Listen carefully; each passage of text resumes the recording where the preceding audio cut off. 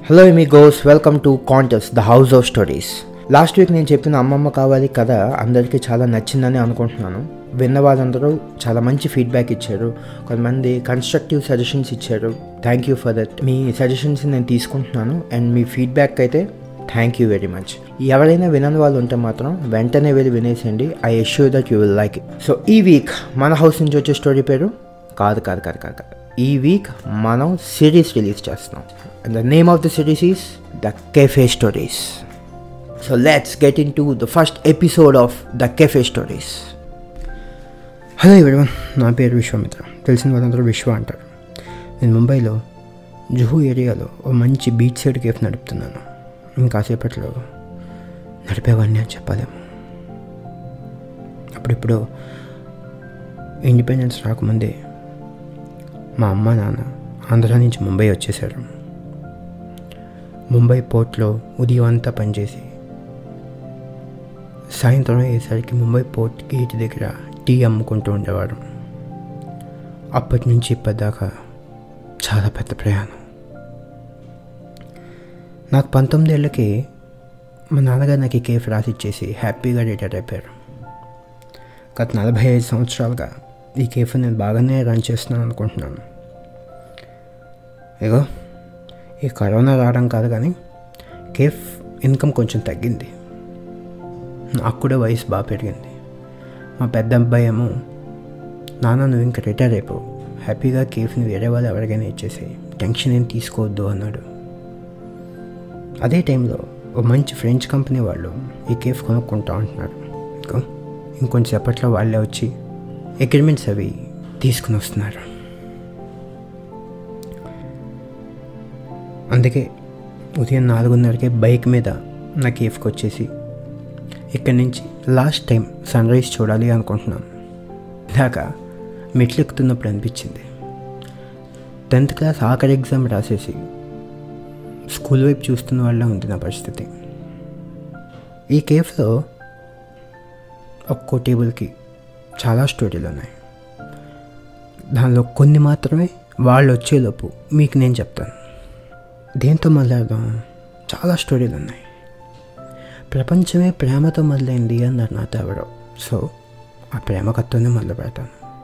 ఏమంటారు? మండే కదా. కేఫ్ కొంచెం ఖాళీగా ఉంది. నేను కూడా అకౌంట్ బుక్స్ అవి పక్కన పెట్టేసి మొన్న కొన్న ఒకటి చదవడం స్టార్ట్ చేశాను. చాలా బాగుంది కథ అయితే మాత్రం.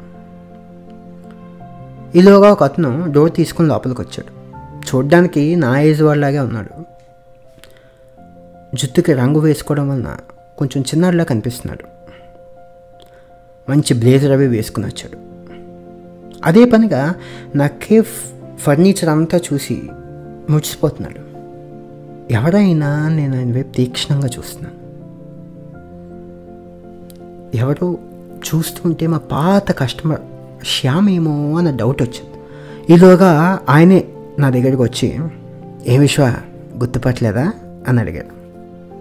శ్యామ్? అన్న నేను డౌట్ఫుల్గా ఎస్ మ్యామ్ నా పేరు మర్చిపోతాం అనుకున్నానే అన్నారు ఆయన. Sir sir. శ్యామ్ సార్. మిమ్మల్ని నేను ఎలా మర్చిపోతాను సార్? మీ వల్లేగా నాకు బుక్స్ నవల్స్ అలవాటయ్యాయి. ఇదిగో మీరు రాసిన బుక్కే చదువుతున్నాను అన్నాను నేను. ఆయనకి బుక్ ఇస్తూ ఏదేది? ఓహోహో ఈ బుక్ బాగుంటుంది. ఎండింగ్ ఏం చెడగొట్టలేదని అనుకుంటున్నాను అన్నారు శ్యామ్.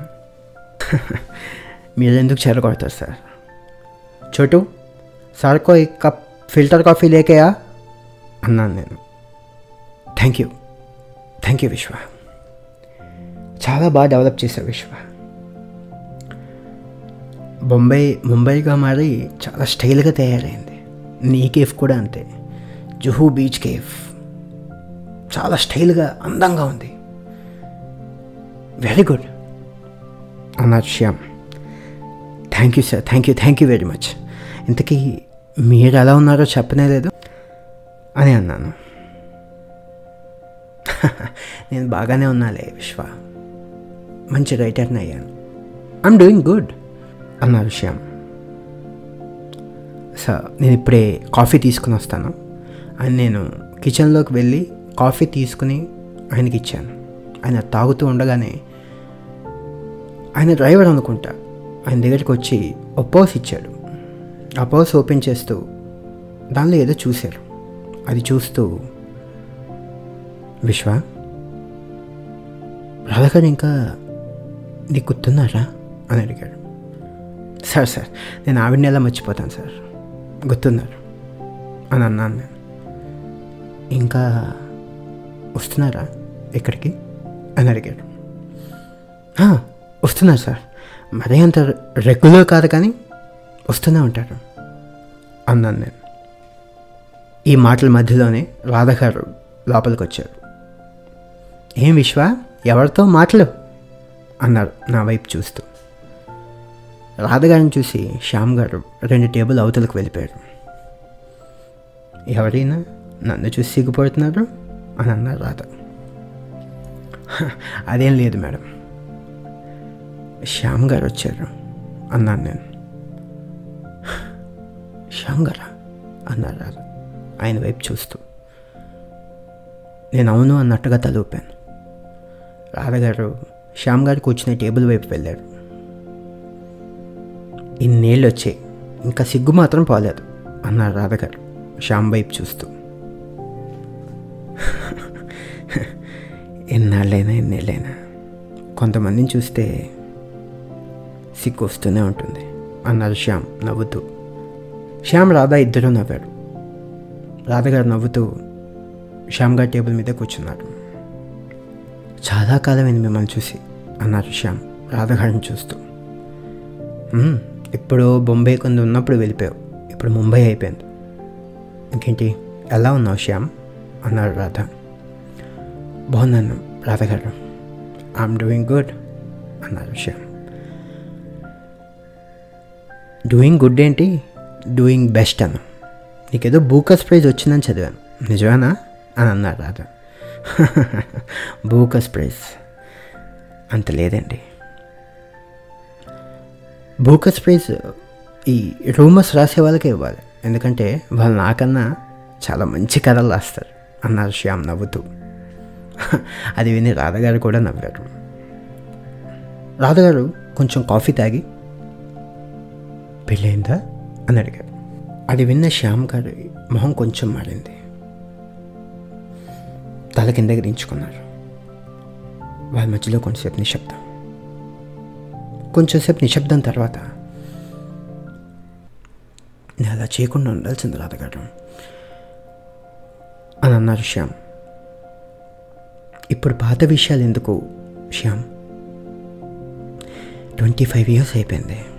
ఇంకొదిలేసి అని అన్నారు రాధ లేదు మిమ్మల్ని నేను అలా వదిలేసి వెళ్ళిపోవాల్సింది కదా.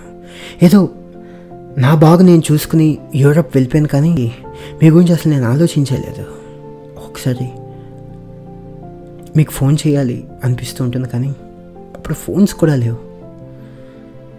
నా గురించి తలుచుకుంటుంటేనే కొంచెం అని అంటున్న శ్యామ్ గారిని రాధగారు ఆపమని చెప్పానా?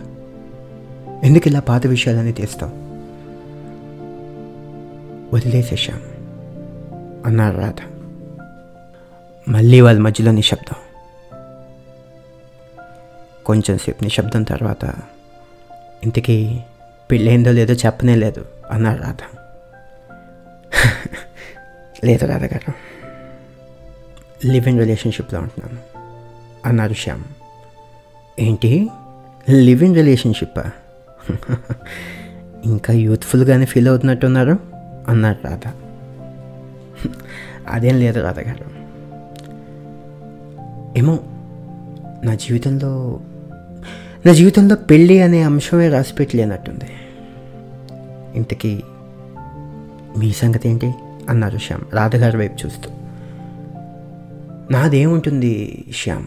నాదేముంటుంది నువ్వు వెళ్ళిపోయావు. నువ్వు వెళ్ళిపోయిన మూడు నెలలకే మా అమ్మ నాకు వేరే వాళ్ళని చూసి పెళ్ళి చేసేసింది. ఆయన మర్చెంట్ నేవీలో పనిచేసేవారు. టెన్ ఆయన చనిపోయారు అప్పటి నుంచి అప్పటి నుంచి నా కూతురే నా లోకం అన్నారు రాధ. రాధగారి వైపు నేను చూడడం రాధగారు గమనించి విశ్వ శ్యామ్ గారికి చెప్పు నువ్వు చేసే బ్రెడ్ అంటే మా కూతురికి ఎంత ఇష్టమో. తొందరగా ప్యాక్ చేసి తీసుకొచ్చే నేను కూడా వెళ్ళాలి. ఇంట్లో అమ్మాయి వెయిట్ చేస్తోంది అన్నారు నేను గబగబా కిచెన్ వైపు వెళ్ళి బ్రెడ్ ప్యాక్ చేస్తున్నాను. ఇంతలోనే శ్యామ్ గారు నా దగ్గరికి వచ్చారు. Congratulations and thank you thank you for reading my books and thank you for encouraging me congratulations ఎందుకు అంటావా? దిస్ కేఫ్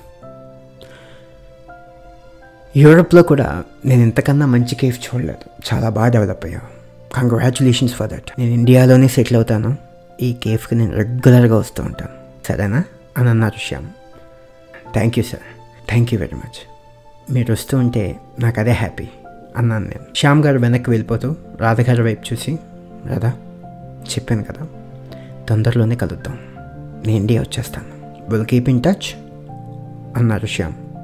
రాధగారు తలూపి శ్యామ్ గారు వెళ్ళిపోయాక నా టేబుల్ దగ్గరికి వచ్చారు. నేను ఆవిడకి బ్రెడ్ ప్యాకెట్ ఇస్తూ మీకెప్పుడు పెళ్ళైంది రాధా మేడం? అని అడిగాను. That's all for this week guys మీ అందరికీ ఈ స్టోరీ నచ్చిందని అనుకుంటున్నాను. నచ్చితే లైక్ చేయండి షేర్ చేయండి and subscribe to కాంటస్ the house of stories see you next week until then take care